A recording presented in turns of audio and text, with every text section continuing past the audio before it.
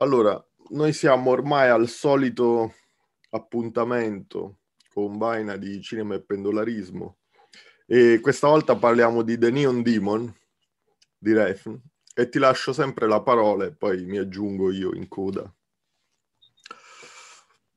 Ok, bene, mi lasci la parola. Devo dire che The Neon Demon io l'ho visto poco dopo la sua uscita e si tratta di un film mh, mm, eh, di un regista che io adoro, e, mh, mm, anche se ha fatto dei film in realtà molto diversi tra loro, ehm, ha sempre delle, delle cose che, che, che, lo rendono perfettamente eh, riconoscibile, uno stile decisamente unico e ehm, alcune caratteristiche di fondo dei suoi film che io ritrovo sempre.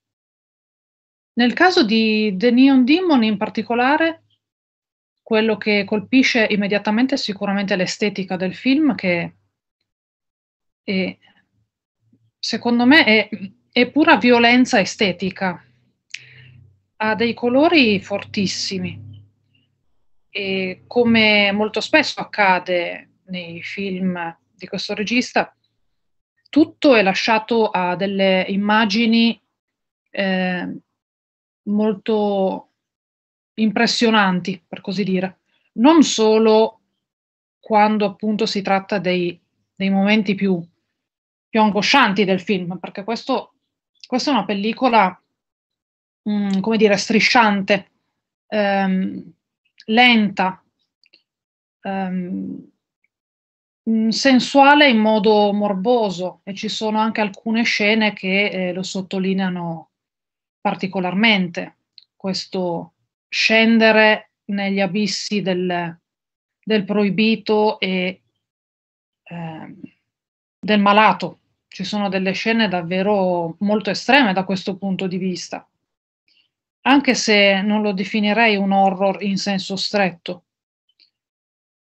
E, ehm, mi ricordo in particolare un, un commento che avevo letto su questo film il film di una ragazza eh, molto bella, ehm, probabilmente non è la più bella però, mm, su questo punto tornerò in seguito. Una ragazza che eh, non è della città, ehm, una ragazza insomma mm, potremmo dire mm, più semplice di altre, che però mh, essendo molto, molto bella appunto intraprende questa carriera eh, nel mondo della moda, dove trova una serie di ehm, ragazze che sono terribilmente invidiose del suo aspetto, della sua bellezza, e trova un mondo davvero sconfortante, fatto di, di odio. C'è una, una competizione davvero, eh, davvero terribile. E, ehm, e poi c'è questa, lenta discesa verso, verso l'abisso, con alcune scene, queste sì, davvero orrorifiche, impressionanti. Eh, tra l'altro ci sarà anche una scena eh, abbastanza, abbastanza estrema, ehm, perché ci sono poi de- delle atmosfere anche abbastanza sensuali, ripeto, sensuali eh, però sempre con un, un forte eh, senso di morbosità. E, ehm, appunto, è una lenta discesa verso, verso l'orrore dell'animo umano e con eh, questo focus sull'apparenza, sul, su ciò che appunto sembra, su ciò che appare. Ci sono queste scene davanti allo specchio, le scene delle, delle selezioni eh, da parte degli stilisti, e ehm, volevo tornare appunto un attimo sul commento che avevo letto che mi aveva colpito molto. Ehm, qualcuno dei tanti in realtà che non hanno capito il senso di questo film, perché non essendo, ehm, come dire, un film con una trama ben specifica, nel senso non è che succede chissà che cosa in questo film, sì, alcune cose accadono, ma non è un film d'azione è un film di atmosfere e di mh, mm, suggestioni eh, dobbiamo essere noi a cogliere tutti i significati. E ci sono immagini davvero molto dense di significato. Comunque mi ricordo che uno di questi commenti negativi eh, che mi aveva particolarmente colpito recitava: Beh, ma lei non è mica così bella. Il punto non è che lei eh, possa essere più o meno bella di altre. Certo, l'attrice è sicuramente molto bella, non, mh, mm, probabilmente ci saranno delle, delle, attrici anche più belle, più sensuali, più... ma non è questo il punto. Lei è un simbolo in questo film. È un simbolo ben preciso. Lei ehm, incarna la bellezza, l'apparenza e incarna la nemica da sconfiggere, incarna il, il ruolo da raggiungere ehm, e incarna probabilmente anche molte altre cose che tu mi aiuterai a ricordare, perché, ripeto, io ho dei ricordi ehm, piuttosto forti eh, di alcune scene in particolare che però non voglio spoilerare, si tratta delle scene poi veramente più, più forti dal punto di vista emotivo, quelle forse più, più orrorifiche, però non voglio, non voglio spoilerare troppo il finale. E vorrei che tu mi aiutassi a insomma, porre il focus su altri elementi che posso aver tralasciato. Sì, sì, sì. Allora, mm, no, diciamo che mm, come sempre fai un ottimo quadro e io vorrei partire, diciamo, l'analisi di questo film, tra l'altro di un regista che anche a me piace tantissimo e che, che spesse volte è un regista che viene, viene preso male. Uh, io ho avuto modo di vedere da poco una serie che ha fatto su, su Prime Video, To Old To Die Young, che è proprio Refn potenziato perché si parla quasi di 8-9 ore di fila di, di questo Refn molto lento, che addirittura molti amici, anche appassionati di cinema, non, non hanno digerito. E quindi, ecco, The Neon Demon è, effettivamente estremizza, mi vorrebbe da dire, già quel refn che si era iniziato a manifestare con Drive, che estremizza forse ancora di più. E mi verrebbe da partire, mh, da iniziare citando due cose che secondo me possono essere un po' una guida in questa sorta di labirinto estetico che poi è The Neon Demon.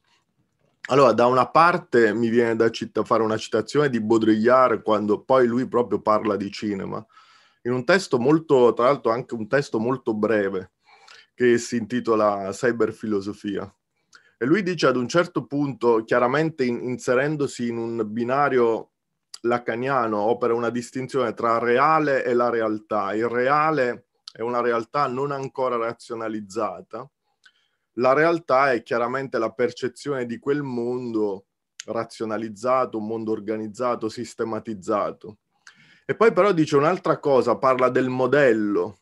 Il modello appartiene proprio alla società dell'immagine e dice che il reale, cioè la percezione del mondo non ancora organizzato, non supererà più il modello. Appunto, la realtà iperreale iper uh, estetica che appunto ritroviamo appunto in The Neon Demon. E questo che significa? Significa che noi ormai viviamo una realtà dove il modello, il modello viene anche da modellare, no? E questi sono corpi, questi dei film, queste ragazze dei film, sono corpi che sono più volte manipolati, sia da un punto di vista estetico, quanto da un punto di vista proprio di violenza che si fa su questi corpi. Ecco, lui dice che ormai in questa realtà che è iperreale, quindi la, uh, l'iperrealtà del modello, uh, ormai la percezione del mondo da un punto di vista naturale è qualcosa che non, non riesce più ad avvicinarsi. Noi ormai viviamo un mondo completamente estetizzato.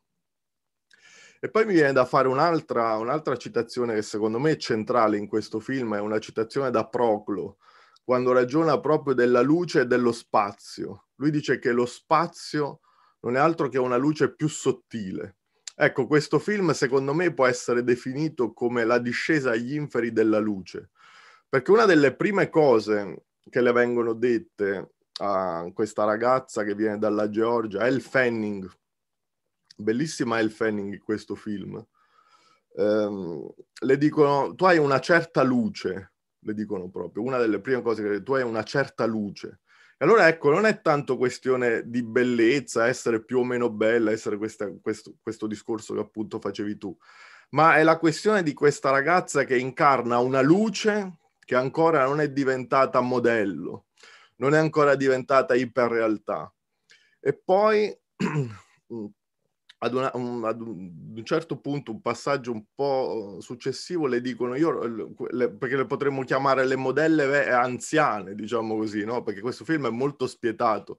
Addirittura c'è un passaggio dove dicono già a 21 anni non vanno più bene, no? Quindi è proprio spietato da questo punto di vista.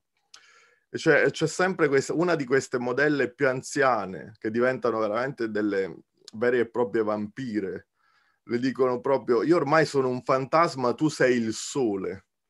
E quindi vediamo che tutto quanto il film, a mio avviso, questo è, il, è un po' il cuore, il fil rouge per orientarsi un po' in questo film e cercare di capire che è un film che impone dei regimi di luce, dei regimi di visibilità, dove si passa da una luce naturale, che è la luce di questa ragazza, anche per come viene proposta fino ad un certo punto nel film, ad una luce eh, elettrica, alla luce del modello, a questa luce che si fa modellare dalla violenza di questi predatori, perché è un film dove co- ricorrono costantemente immagini di predatori, eh, felini e umani, diciamo così, perché eh, eh, un'altra frase che mi ha colpito molto rivedendo il film è proprio che eh, sempre queste modelle anziane, diciamo, definiamole così, le chiedono proprio ad un certo punto, ma tu sei una preda, sei, un, sei cibo,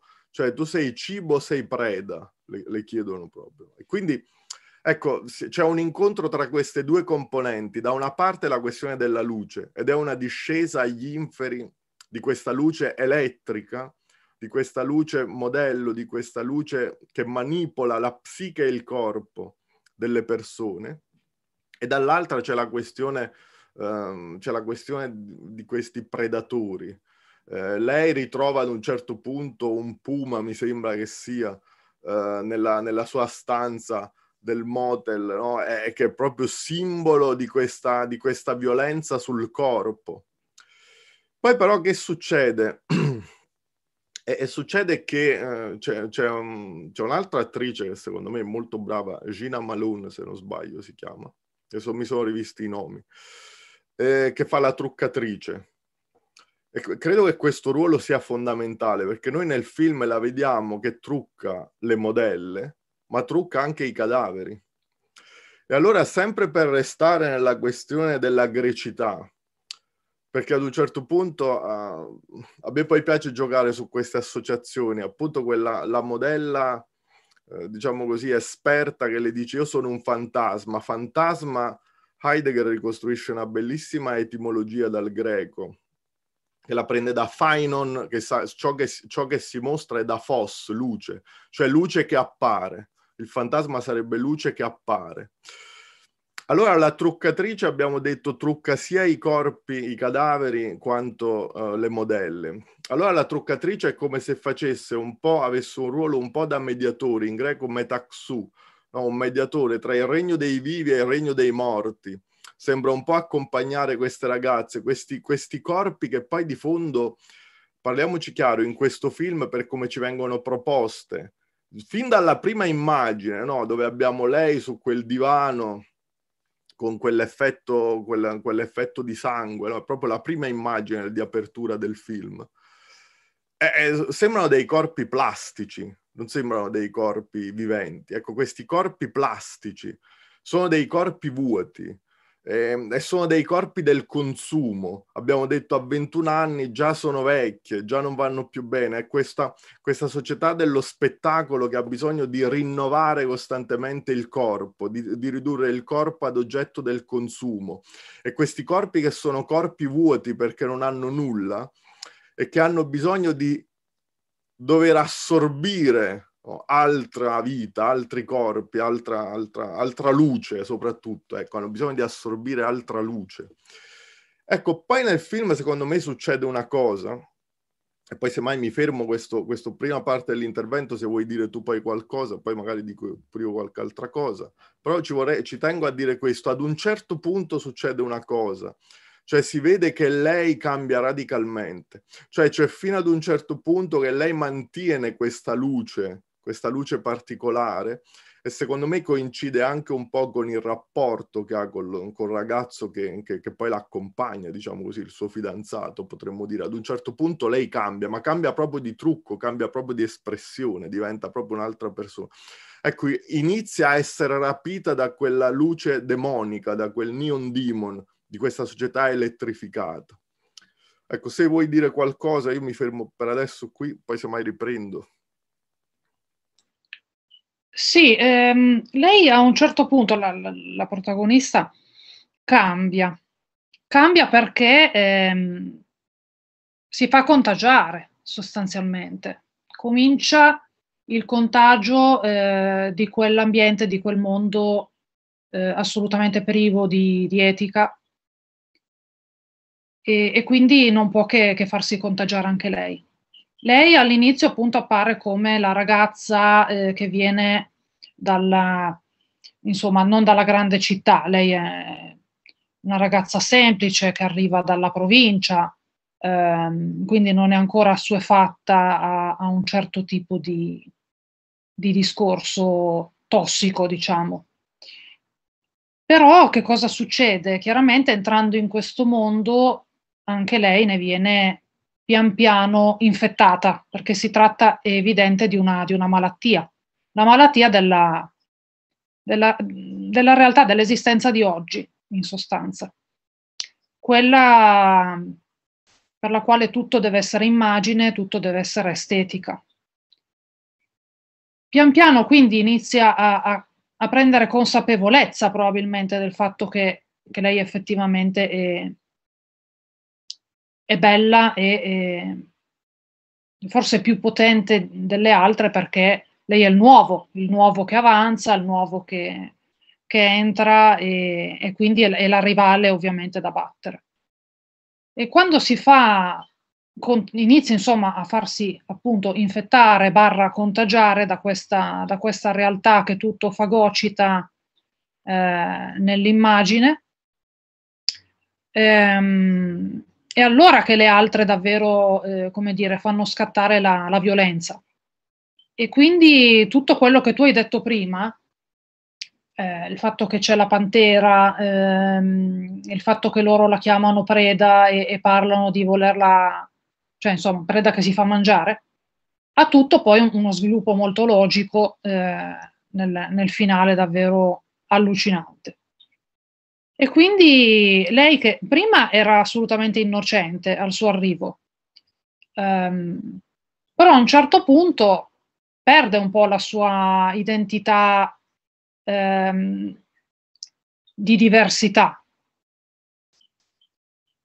Trova, cioè insomma, inizia a diventare comunque in parte simile a loro, quindi probabilmente non è neanche così diversa, ecco, da un certo punto di vista.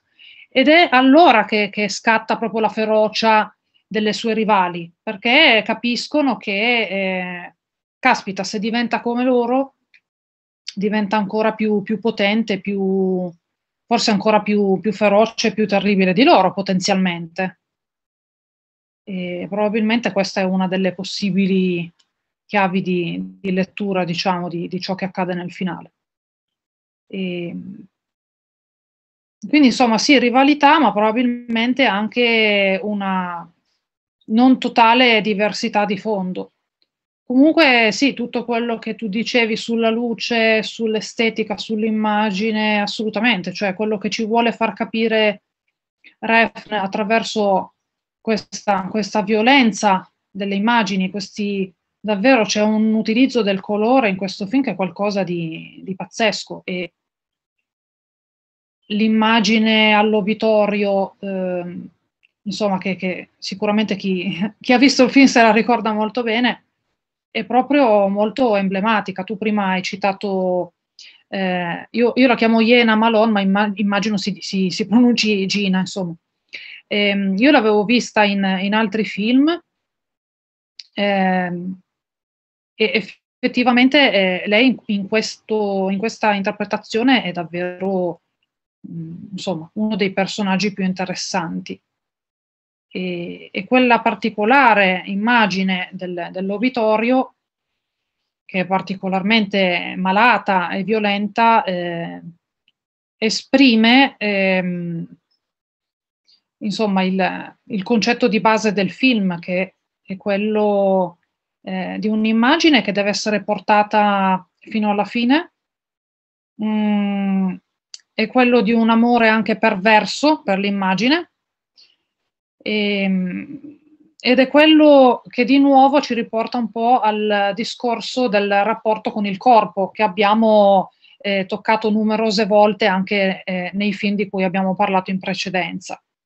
Questo corpo che diventa qualcosa da adorare anche oltre la morte questo corpo che eh, successivamente, un po' eh, per un ritorno alle origini e al, e al primitivo, eh, insomma il corpo del nemico deve diventare il mio corpo, in qualche modo me ne devo appropriare. E qui in questo film si vedono vari modi di appropriarsi dei corpi. Quindi da una parte, appunto, come dicevi tu, c'è la violenza eh, delle, delle, modelle che accettano di farsi anche manipolare eh, appunto da, dagli agenti, dagli stilisti, dai fotografi. Eh, dall'altra parte c'è il corpo che viene ehm, assimilato, d'altra parte c'è il corpo che viene amato anche morbosamente. Quindi di nuovo torniamo eh, prepotentemente a parlare di corpi. Ecco, basta, ti ridò di nuovo la parola. No, no, ma va benissimo, infatti no, ma di fondo, di fondo questi poi sono i punti. Mm, vorrei aggiungere due cose, anzi una secondo me, in questo film ci sono due bellissime citazioni, credo, e eh, poi magari eh, a volte le citazioni sono anche così non volute, però poi ecco perché, perché secondo me, e tra l'altro questo devo dire anche a quel mio carissimo amico con cui scrivemmo quel libro sul cinema, il cinema è sempre Uberflux, nel senso che ci rimanda sempre ad altre immagini. E una è sicuramente Mulholland Drive, dove queste ragazze, questa ragazza che, dalla provincia che arriva a Los Angeles, ma di fondo è già diabolica come Los Angeles, lo si capisce alla fine, anche qui lo si capisce alla fine, come dici appunto tu, cioè lei sì, arriva con questa luce diversa, arriva con questa purezza, arriva con questa... Tu sei il sole, io sono un fantasma, però di fondo è ben pronta a diventare come loro, è ben pronta a dare un calcio alla vita del passato e a gettarsi pienamente in questa, in questa, in questa reificazione, diciamo così, della, della propria luce. E poi c'è un'altra bella citazione che secondo me viene proprio da, da Gina Malone, eh, che onestamente non so come, come, si chiama, io poi non è che sono molto bravo con l'inglese, e ehm, quando lei ha come se avesse una sorta di orgasmo con la luna, mi ricorda molto Lars von Trier di Melancolia. E que- quella, questa secondo me è un'altra bella citazione.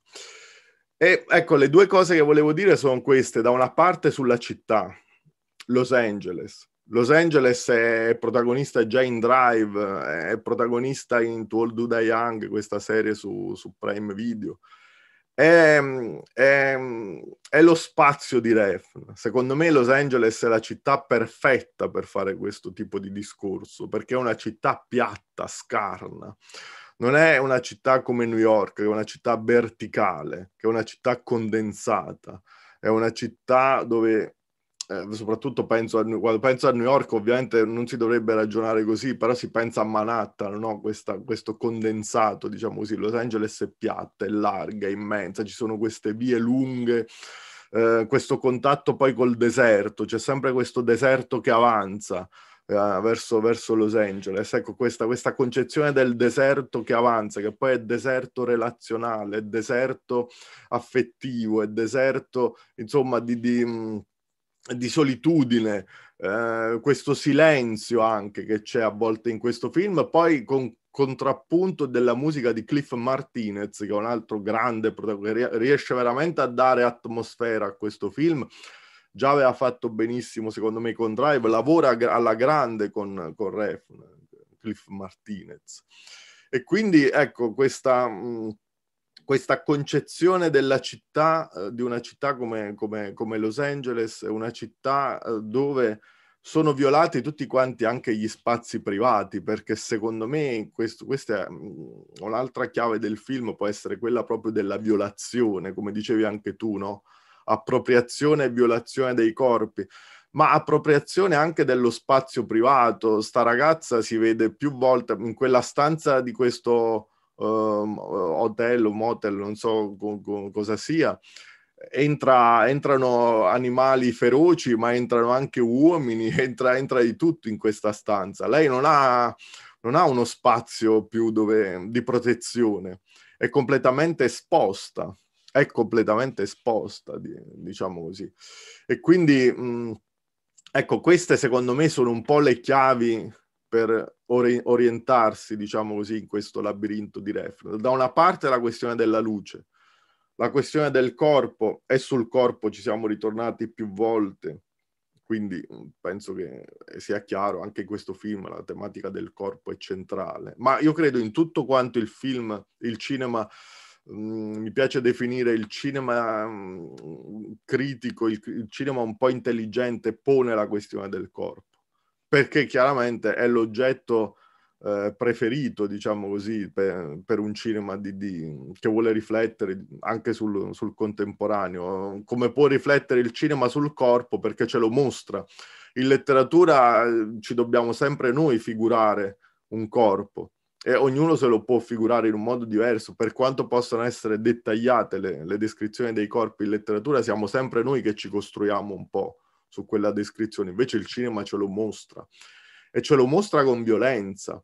E quello che secondo me tocca di questo film è proprio la violenza di questi corpi vuoti, perché questa è un'altra chiave del film, il vuoto, questo vuoto che deve essere costantemente riempito dal successo, dall'immagine, dalla pubblicità, eh, dalla passerella, dalla, dall'appropriazione violenta verso l'altro.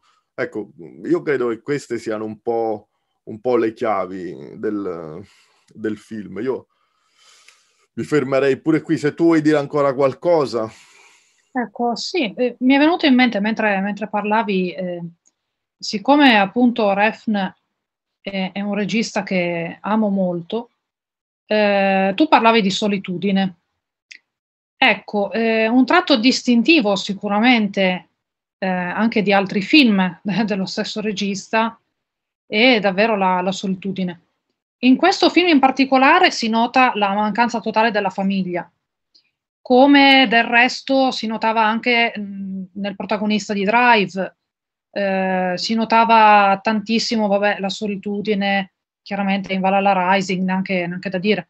Um, poi in un altro film, secondo me abbastanza tralasciato, eh, sempre di Refn, Solo Dio perdona, invece abbiamo eh, al contrario, una famiglia, in questo caso il rapporto con una madre davvero a dir poco asfissiante, agghiacciante, un eccesso di, come dire, di intromissione da parte del, della famiglia.